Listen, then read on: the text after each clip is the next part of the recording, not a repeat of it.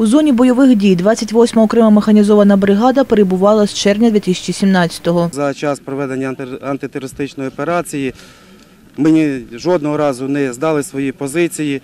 Всі пам'ятають той бій за Мар'янку, яку ми утримали. Після піврічної розлуки герої нарешті зустрінуться з рідними. Радісний, позитивний настрій, звичайно.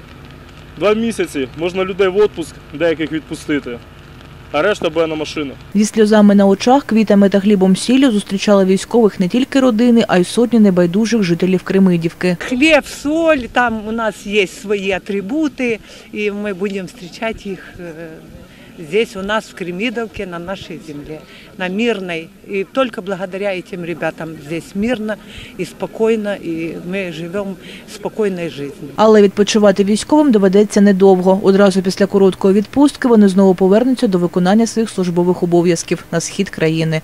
Анна Черненко, Тетяна Ткач, Вісті.